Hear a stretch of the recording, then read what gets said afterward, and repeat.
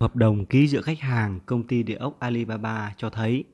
công ty cam kết thu mua lại sản phẩm đã bán với lợi tức 18% trên một tháng, tương đương với lãi suất 3% một tháng là lợi tức vạn người mơ.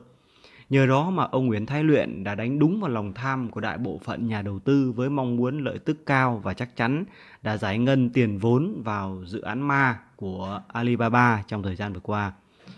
Chỉ trong khoảng thời gian ngắn đã đưa cái tập đoàn Alibaba từ số 0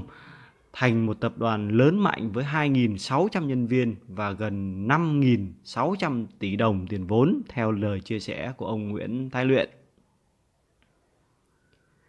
Cơ hội đầu tư thực tế thì không thấy đâu, bất động sản có hay không có thì không quan trọng. Quan trọng là đã có cam kết 3% một tháng, không cần làm gì cả, chỉ cần giao tiền cho anh em nhà luyện Alibaba sẽ tự nhiên tiền đổ về tài khoản của anh chị.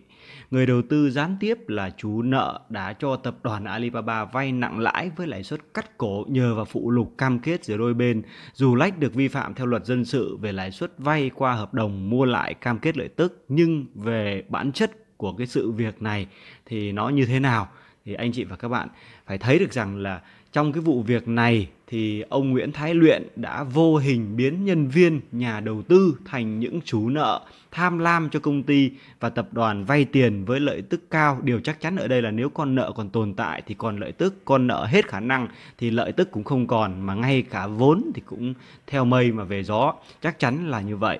nhân viên công ty địa ốc Alibaba khách hàng vừa đáng thương lại vừa đáng trách. Đáng thương là vì đã bị ông Luyện lợi dụng kéo lên buộc vào con thuyền cao tốc đa cấp bất động sản trá hình và thiệt hại.